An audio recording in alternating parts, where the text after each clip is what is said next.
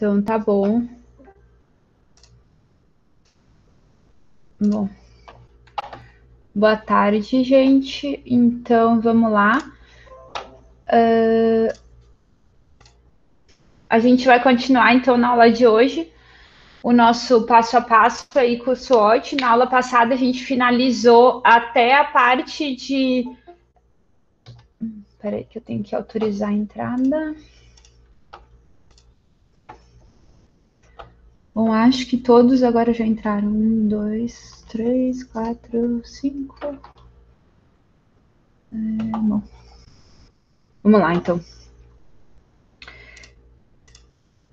Então,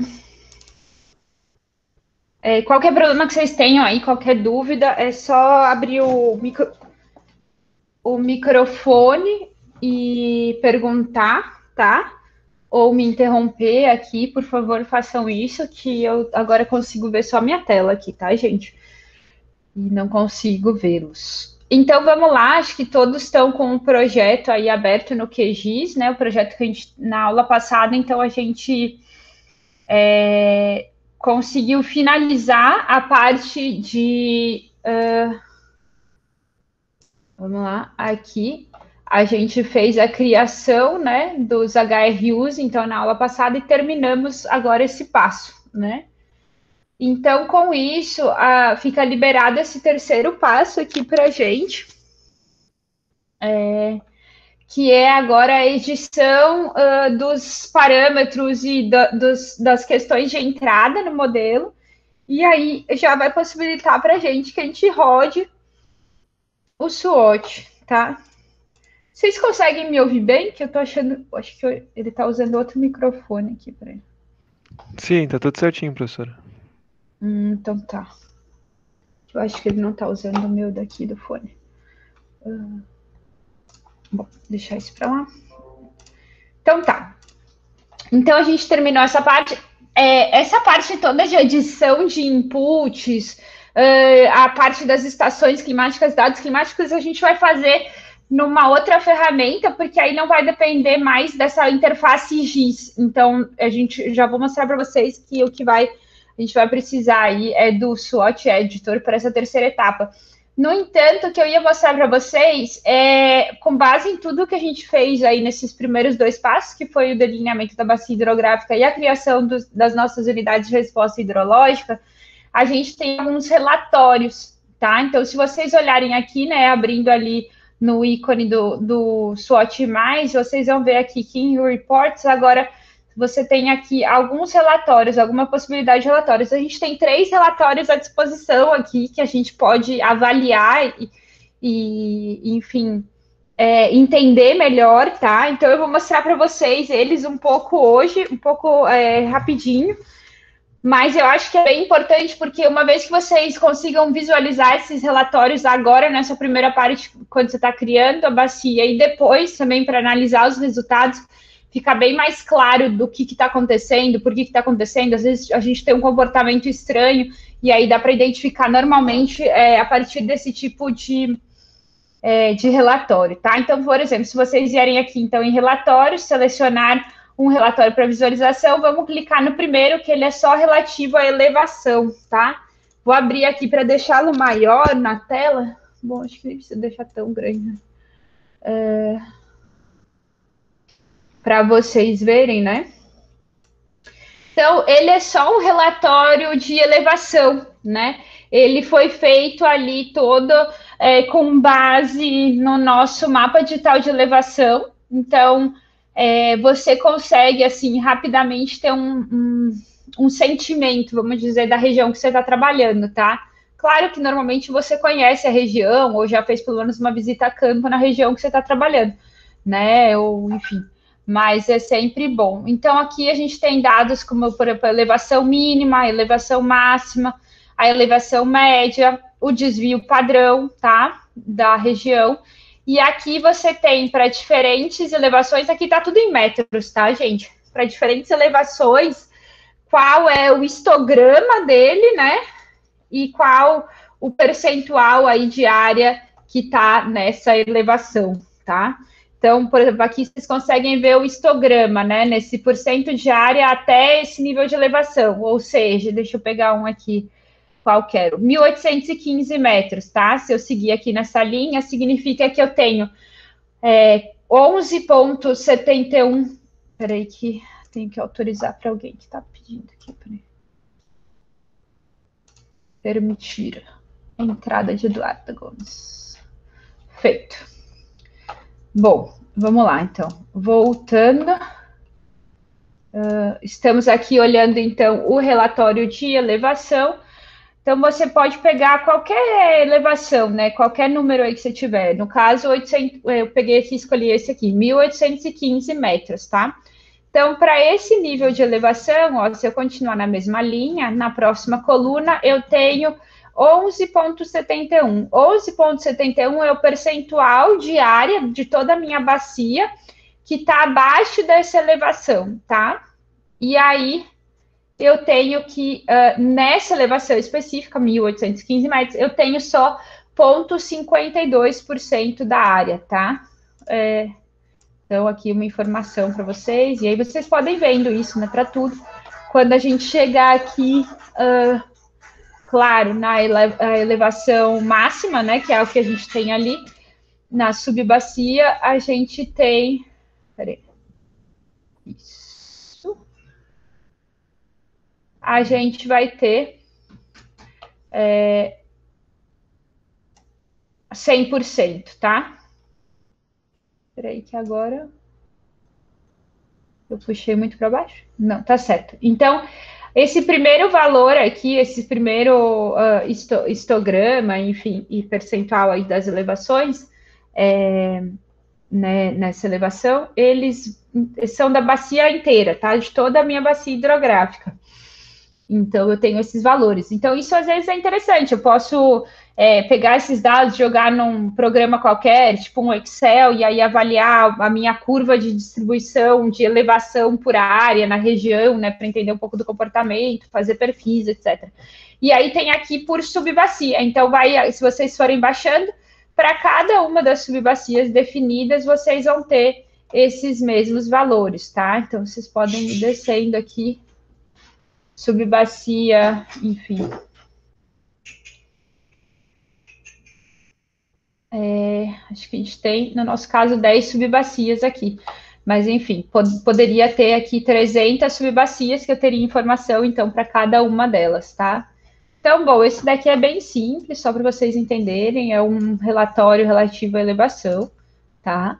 Aí, vamos lá, vamos clicar agora no próximo relatório, então, que a gente tem aqui disponível, ele é o relatório de uso do solo e tipos de solo, tá? Então, vou clicar nele aqui, vou expandir um pouco para vocês conseguirem ver de novo. Uh, e aí, aqui também tem um pouquinho uh, uh, das informações básicas aí das, do seu projeto, tá?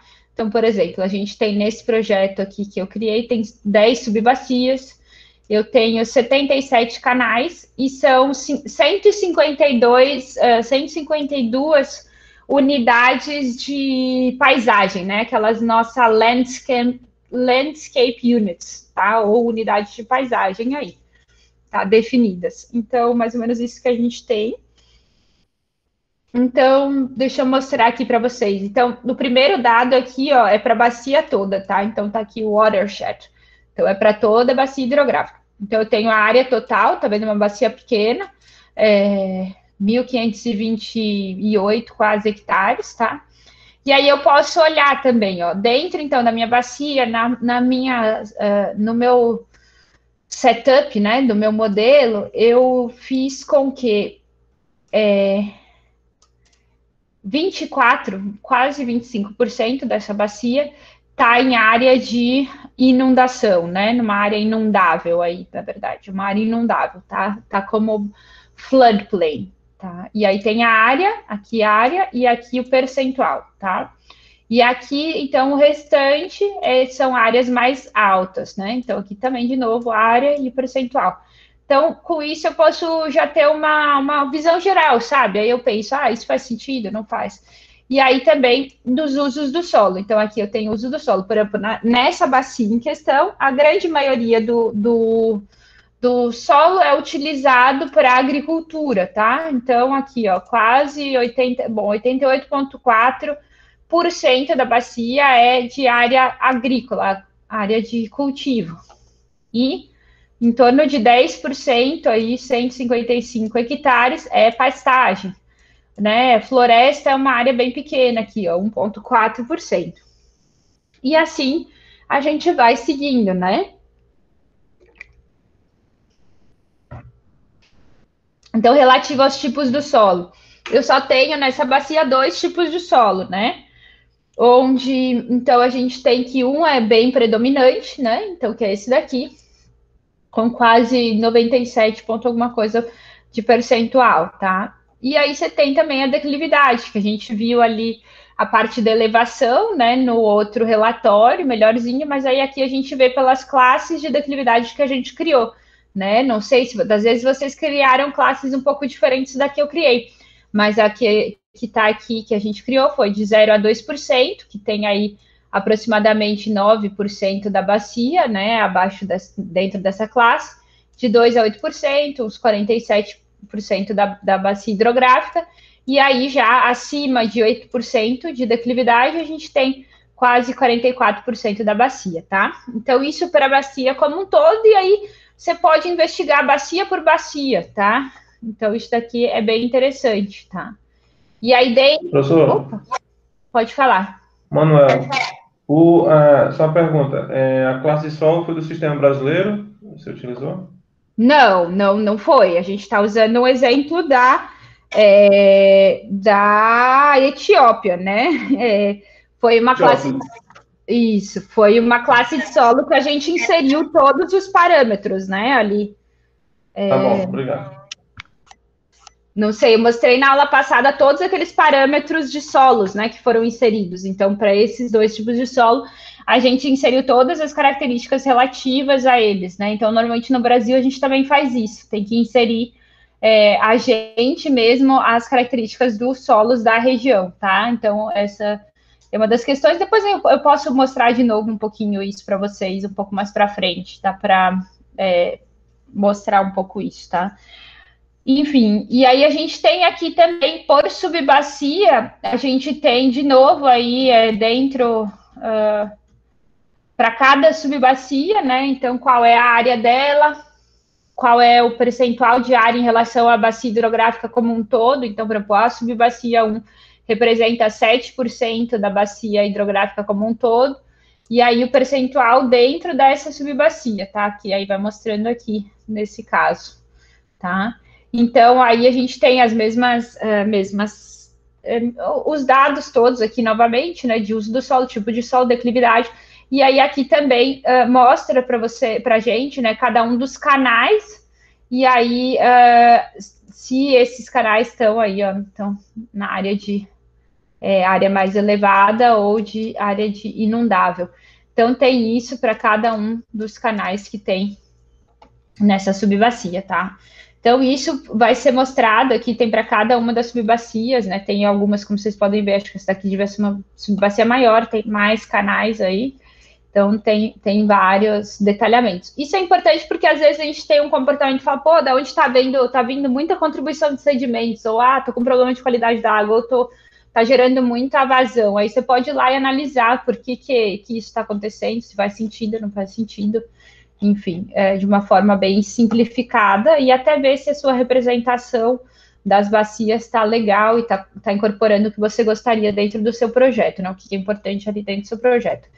Então, esse daqui é basicamente o seu uh, relatório aí de uso do solo e tipos de solo, né? Então, é bem útil para você verificar, principalmente depois quando você analisa os resultados, é bem interessante. E aí, por fim, vamos clicar aqui, perdão, uh, dentro dos relatórios, no relatório do HRU, das unidades de resposta hidrológica, tá? Então, novamente, aí vou expandir ele um pouquinho para vocês. Então, aqui tem os HRUs agora. Uh, vamos lá. Aí mostra aqui que tipo de uso, né? Como que a gente definiu? A gente definiu, eu defini, não sei se vocês usaram essa definição no fim, por target number, né? Então, o meu target foi de 500 HRUs ali, o meu número que eu estipulei como um número de que eu gostaria de ter os HRUs foi que foram 500. E aí você vê que tem ali exatamente 500 HRUs que foram definidos na bacia, né? E aí tem de novo, novamente, as características que a gente já viu no anterior, mas o número de subbacias, canais e, e landscape units, tá? Unidades de uh, paisagem. Tá? Então, uh, aqui, a, bom, tá, já falo isso. Então, aqui, mesma coisa, primeiro por bacia hidrográfica, e aí depois tem por subbacia e por é, HRU abaixo. Então, aí você pode ver de novo as características aí, né? aí já entrando em toda a discretização, nas é, é, declividades, solos, uso do solo e unidades uh, de paisagem também, em termos dos HRUs, e aí aqui, ó, em parênteses, peraí, deixa eu lembrar aqui, numbers in parentheses are corresponding values before HRU creation, tá? Então, esse daqui foi antes da, da mudança ali dos HRUs, e aqui é o valor que a gente vai usar dentro do modelo mesmo, tá? Porque às vezes muda um pouquinho, né? Vocês veem aqui, ó, algumas paisagens mudaram um pouquinho. Então, dependendo do estudo, também é interessante. Por exemplo, ó, reduziu, né, o nosso número de floresta, que reduziu, ó, é, de 21 passou para 14. Então, virou dois terços, né, do valor que tinha antes. Então, de repente, eu não quero fazer isso. Eu posso voltar lá na minha, naquela, naquele passo anterior que a gente fez de criação dos HRUs e redefinir é, os meus valores ali, os meus, uh, meu, meu, meus valores, meus percentuais, ou por área, ou colocar, de repente, floresta como uma exceção ali para que não crie, não extingua nenhum HRU ali dessa, desse uso do solo, tá? Então, é, é interessante avaliar isso daqui também quando vocês estiverem fazendo um projeto. E aí tem, ó, todos os dados aí por, uh, por subbacia, por HRU, tá? Né? Aqui tem o HRU, e aí dentro tem os canais explicando, e aí também é, aqui ah, as unidades, né? Floodplain, no slope, e aí ele fala, né? Então, dentro de, da floodplain tal, né? A gente tem aí quatro HRUs, por exemplo, né? Então, eu tenho dentro dessa é, Landscape Unit aqui 821, né? Dentro relativo ao meu canal 82, eu tenho aí é, quatro HRUs, que são quatro combinações diferentes, então, de uso do solo com tipo de solo e declividade, tá? Eu posso ver isso daqui, ó, para cada uma, para cada um deles, para cada um dos meus HRUs aí relativos, tá? Então, deve ter aí os 500 uh, 500 HRUs que a gente criou, tá?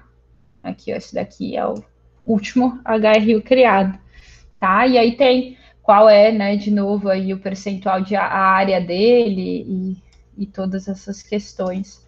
É, a área, o percentual da, na, relativo à bacia hidrográfica e o percentual dele em relação à subbacia em questão, tá? Então, Acho que essas daqui são, é bem interessante. Não sei se vocês tiverem alguma dúvida em relação a esses relatórios. Vocês todos conseguiram abrir aí, dar uma olhadinha nos relatórios uh, de vocês aí do, do setup da bacia que vocês fizeram. Espero que sim.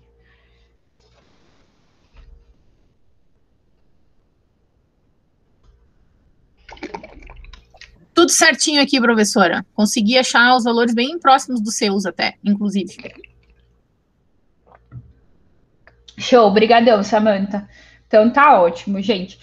Então, é mais ou menos isso da interface do QSWOT+, né, dentro do QGIS, que a gente vai usar até esse momento. Depois eu vou mostrar para vocês como analisar os, os resultados também no QGIS, que tem algumas análises espaciais bem simples que a gente pode fazer. É, mas por enquanto, então, para o delineamento das subbacias, dos canais, etc., e dos HRUs, é o que a gente precisava fazer aqui, e agora a gente não vai precisar mais disso.